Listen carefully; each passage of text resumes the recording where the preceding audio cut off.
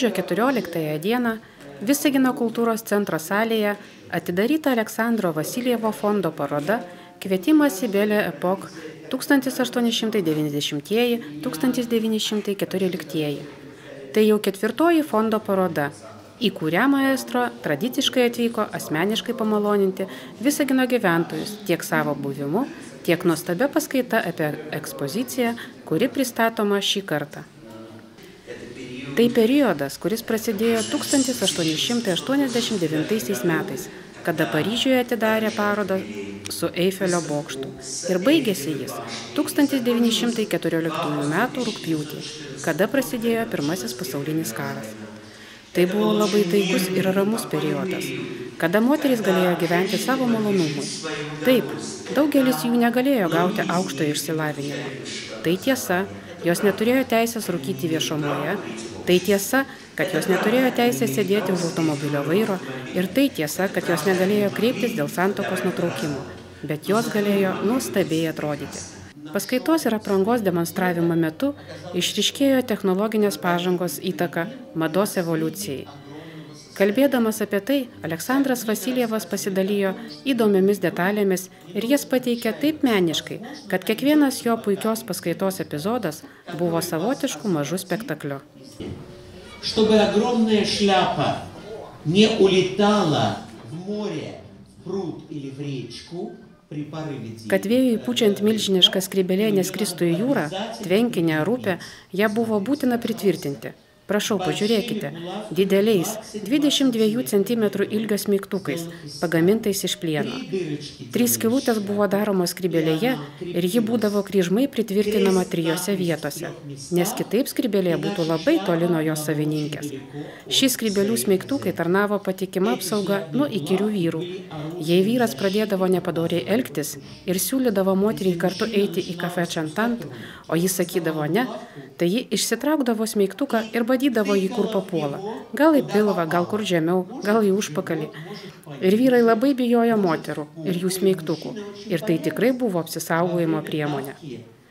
Kai tik atsirado tramvajai, daugelis moterių šiais nuostabiais mygtukais, esant spūščiai transporto priemonėje, stovėdamos ir laikydamosios už turėklų, jam sustojus, išbadydavo akis savo kaimynams, kurie važiuodavo kartu su jomis. Sužalojimų buvo tiek daug, kad visų miestų merijos - Paryžiaus, Londono, Romos, Berlyno, Peterburgo - išleido įsakymą draudžiantį tramvajuje nešioti smeigtuką, jeigu ant jo nėra antgalio ir aštrus galiukas gali sužaloti. Todėl ir skrybelės pradedant nuo 1913 metų tapo mažomis be plačių kraštų. Madai įtakos turėjo ne tik tramvajaus paleidimas miestuose, bet ir rengeno išradimas.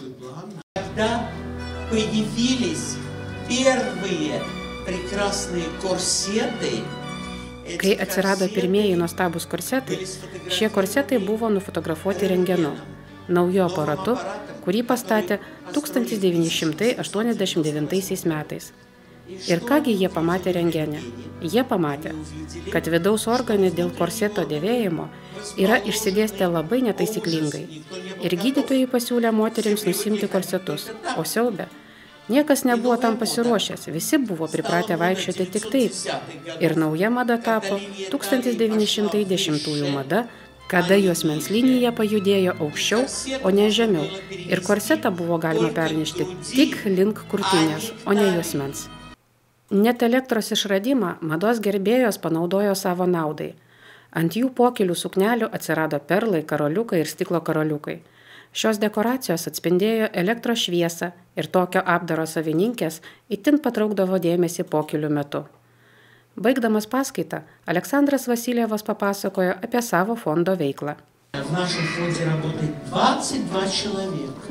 Mūsų fonde dirba 22 žmonės ir mes visada kviečiame dirbti savanorius iš Visagino. Žmonės gerai žinančius anglų kalbą, išmanančius pavyzdžiui kompiuterinės technologijas ar turinčius kirpimo ir siuvimo įgūdžius. Mes visada džiaugiamės jumis. Todėl, jeigu kas nors norėtų bendradarbiauti, galite susistiekti su Alma. Aš vėl čia atvykstu kitą mėnesį, sausį. Mes turime labai didelį planą. Mums reikia ruoštis naujoms parodoms. Mes turime labai daug pasiūlymų skirtingose šalyse. Paroda Čekijoje, Arabų Emiratuose, Vašingtone, Junktinėse Amerikos valstijose, taip pat Prancūzijoje. Neblogos vietos. Aleksandrai, mes labai džiaugiamės vėl matydami jūs visaginę. Jūs šiandien pravedėte nuostabią paskaitą. Sužinojome tiek daug įdomaus. Mes visada suvokiame, kada mada ir technologinė pažanga juda. Galima sakyti koja kojon.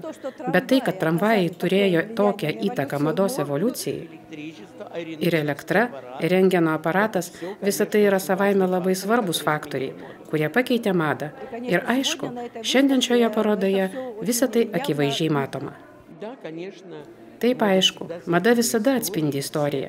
Ir visi nauji pasikeitimai, kurie susiję su ekonomika, kultūra, gamyba, labai gerai atspindi. Mūsų prašymu maestro pakartojo kai kuriuos savo paskaitos momentus. Kai atsirado elektra, pobūvių salėse vykstančių vakarų laikas iš karto prailgdavo. Anksčiau, kai pirmoje XIX amžiaus pusėje salės buvo apšviečiamos žvakėmis, jos vidutiniškai degdavo 3 valandas ir iki galo. O tada tapo madingos žibalinės lempos, kurios buvo mažiau ryškios, turėjo kvapą, bet irgi degdavo kažkiek laiko, kol nesudegdavo visas žibalas. O elektra neturėjo laiko apribojimo. Ir elektrinės lempas galėjo šviesti nors iki pat ryto. Ir todėl pamažu madoje pradėjo atsirasti spindesys.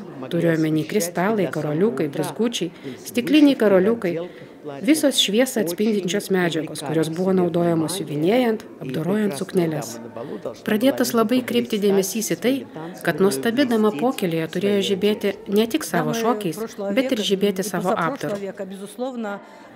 Praeito ir užpraeito amžiaus damos be abejo vilkėjo labai sveikas ekologiškai švarias medžiagas. O kaip jos reaguotų šiandien į šiandienos, sakykime taip, lengvąją gamybą? Gyvename trikotažo, kuris visiškai pakeitė moters figūrą laikais. Mes galime suvalgyti kiek nori ir vis tiek viskas tilps. Mes turime apatinį trikotažą ir trikotažinius viršutinius drabužius. Tai visiškai pakeitė požiūrį į mytybą. Žmonės tapo didesni ir pradėjo daugiau sverti palyginus su tais 55-60 cm juosmenimis, kurie buvo amžiaus pradžioje. Tai yra pažanga privedė prie kažko gero sveikatos atžvilgių?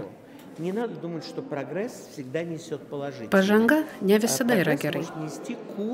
Nereikia galvoti, kad pažanga savyje neša tik teigiamus dalykus, nes pažanga gali nešti daugybę neigiamų dalykų. Nes pavyzdžiui, pažanga tai ir pasienio užkardo atidarimas, bet tai ne visai nuostabus veiksnys, nes atvažiuoti gali bet kas, ar ne? Pažanga tai galimybė, pavyzdžiui, kažkokiu būdu pažaboti kūro ar elektros kainų augimą tai irgi pažanga. Pažanga tai tas pats internetas, kuris atpratino žmonės rašyti laiškus, eiti į svečius, o dabar ir kalbėtis telefonu. Ir visiškai užmiršti epistolinį žanrą? Tai irgi progresas. Gal aplankiusios jūsų parodą daugelis damų susimastys apie kažkokių natūralių medžiagų, medvilnės panaudojimą. Jų praktiškai negalima šiandien nusipirkti. Šiandien šimtaprocentinės natūralios medžiagos, sakyčiau, iš esmės jau nebegaminamos. Dabar yra melanžo epocha, Ir šiame melanže ir medvilnė, ir lina, ir vilna, ir šilka papildo kitos medžiagos. Pavyzdžiui, tamprios medžiagos. Tai nėra blogai, nes kartais elastingumas padeda lengviau judėti. Visa tai yra epochos klausimas. Mes gyvename skalbimo mašinos epochoje. Ir jeigu mūsų rūbus negali išskalbti per pusvalandį ar 40 minučių, mes jau nebepatenkinti. O jei juos dar reikia ir lyginti, Tie apdarai, kuriuos jūs matėte, jų negalima skalbti skalbimo mašinoje.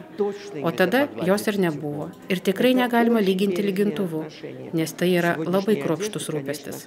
Šiuolaikiniai rūbai šiuo klausimu yra kur kas praktiškesni. Paspaudėm mygtuką, ištraukėm ir jau sausi, pakabinom ant pietukų į spintą ir toliau gyvenate su jais. Ką jūs rekomenduotumėte mūsų visagino moteriams šiandien dėvėti? Kokius rūbus, kokias medžiagas?